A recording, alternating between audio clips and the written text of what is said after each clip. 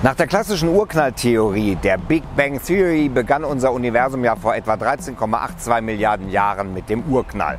Gleichzeitig entstanden demnach auch Raum und Zeit. Wenn wir davon ausgehen, hat sich die Frage, was war vor dem Urknall, eigentlich erledigt. Aber mittlerweile gibt es weitere Überlegungen dazu, die sich auf die Quantentheorie stützen. Und danach gibt es tatsächlich ein davor. Doch wie genau sah das aus? Ist das Universum vielleicht aus dem Nichts entstanden? War es Teil eines Multiversums oder ist es noch oder markiert unser Urknall lediglich das Ende eines vorherigen zyklischen Universums? Die Antworten jetzt bei Klicks um Science Fiction. Herzlich willkommen. Und mal wieder vielen Dank für diesen spannenden Themenvorschlag aus der WhatsApp-Community. Wie ihr Mitglied dort werden könnt, erfahrt ihr am Ende des Videos. Erste Theorie. Das Universum ist zyklisch. Vor ihm existierte ein anderes Universum. Eine Idee ist, dass vor unserem Universum ein anderes Universum existiert hatte, was sich immer weiter ausgedehnt hat, bis es dann in sich zusammengefallen ist. Dann beginnt alles von vorn. So war also unser Urknall der letzte Moment eines anderen Universums. Und vor diesem hatte wiederum ein anderes Universum existiert. Vor dem Urknall hätte es somit also einen früheren Urknall gegeben und vor diesem einen noch früheren und so weiter.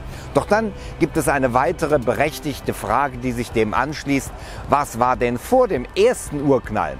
Wenn man diesen Gedanken mal weiterspinnt, kommt man ja auch zu einer viel größeren Frage, die wir aber eigentlich damit meinen, wie ist alles entstanden? Übrigens, wem jetzt die Antwort Gott in den Sinn kommt, muss dann aber auch weiter fragen, was war vor Gott? Diese Theorie des zyklischen Universums wird auch Big Bounce genannt und das heißt so viel wie großer Rückprall. Demnach hat auch eine Kollision ein Vorher und Nachher. Heißt aber auch, dass wir von dem Gedanken uns verabschieden müssen, dass der Urknall der Anfang von allem sein muss. Doch um das alles zu belegen, müsste die Stringtheorie weiter ausgeklügelt werden. Zudem bräuchte es empirische Belege. Der Plan dazu, Satellitenteleskope könnten demnächst eventuell nachweisen, dass die schwache Mikrowellenstrahlung, also das Echo des Urknalls, in einem zyklischen Universum andere Eigenschaften hat als im herkömmlichen Big Bang Universum. Zweite Theorie. Unser Universum ist Teil eines umfassenden Multiversums. Dahinter steckt die Idee des sogenannten ekpyrotischen Universums. Demnach ist unser Universum noch lange nicht alles, sondern nur ein kleiner Teil eines viel umfassenderen Multiversums. Darin existieren viele einzelne Universen, die ab und an miteinander kollidieren. Das wäre dann quasi der Moment des Urknalls. Und tatsächlich besteht hierbei die Möglichkeit, solch eine Kollision nachzuweisen, und zwar durch eine detaillierte Untersuchung der kosmischen Hintergrundstrahlung. Sehr wahrscheinlich ist es allerdings nicht, dass wir irgendwann solche Hinweise finden werden. Um jetzt konkret auf die Frage zu antworten, was jetzt genau vor dem Urknall wäre, wäre die Antwort dann ein Multiversum, in dem Prozesse zum Urknall geführt haben. Doch letztendlich ist die Frage damit auch nicht final geklärt, denn mit dieser Theorie schließt sich eine weitere Frage an, wie ist dann dieses Multiversum entstanden? Gab es einen Multiknall und was ja, was war dann davor? Die Idee des Multiversums scheint wirklich nicht überprüfbar zu sein. Deswegen gibt es auch einen großen Widerstand gegen die Theorie. Dritte Theorie und die ist wirklich, ja, ich würde mal sagen, ein bisschen spooky. Das Universum ist aus dem Nichts entstanden. Die moderne Physik ist mittlerweile der Ansicht, dass Dinge tatsächlich aus dem Nirgendwo entstehen können. Diese Meinung ist spektakulär und galt in der Wissenschaftscommunity lange Zeit als undenkbar. Das Universum entstanden aus dem Nichts. Genau davon gehen mittlerweile einige Wissenschaftlerinnen und Wissenschaftler aus. Aber wie kann das sein? Ganz am Anfang standen demnach wohl winzige energiegeladene Teilchen, sogenannte Quanten.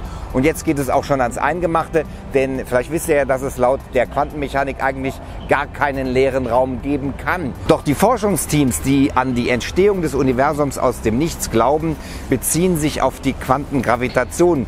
Danach ist die Quantenmechanik mit der der Quantengravitation vereint und somit sind zufällige und sehr kurze Energieschwankungen selbst in einem Vakuum möglich. In der Fachsprache auch Quantenfluktuation genannt. Teilchen und das entsprechende Antiteilchen entstehen spontan und löschen sich kurze Zeit später gegenseitig wieder aus. Doch eventuell kam es ja zu einer Ungleichverteilung, also einem Überschuss von Materie zur Antimaterie. Das wird ja tatsächlich vermutet nur keiner weiß, warum es sie gab. Dann würde ein bisschen mehr Materie bestehen bleiben und könnte so nach Ansicht der Forscherinnen und Forscher zu den ganzen Galaxien und Sternen geführt haben, wie wir sie heute aus dem Universum kennen. Das ist echt schon eine krasse Vorstellung, denn so eine kleine Asymmetrie vor sehr langer Zeit hätte dann so viel Materie erzeugt, wie das Universum heute beinhaltet. Doch diese Theorie nachdem das Universum aus dem Nichts entstanden sein könnte, wird heiß diskutiert. Doch fest steht auch, Quantenfluktuationen, ja, die sind messbar, also experimentell gesichert. Möglich scheint es also schon, dass das ganze All aus der Leere entstammt. Alles in allem kommen wir da aber an die Grenzen unserer Erkenntnis und viele Fragen, zum Beispiel der Frage nach Gott und dem Ursprung von allem. Und vielleicht können wir diese Erkenntnisgrenze nie überwinden.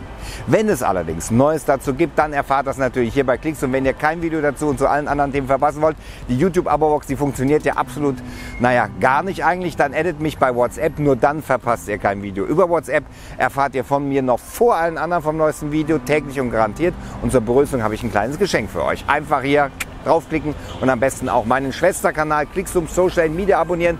Da gibt es das Neueste aus der Social Media Welt, wie aktuell über die Anzeige gegen Nebelnik wegen eines Memes. Total irre. Dafür hier klicken, aber nicht die Genau, Glocke vergessen. Und hier geht es weiter mit, dafür auch draufklicken. Sensation, dunkle Materie existiert wahrscheinlich nicht. Bis dann, bleibt dran.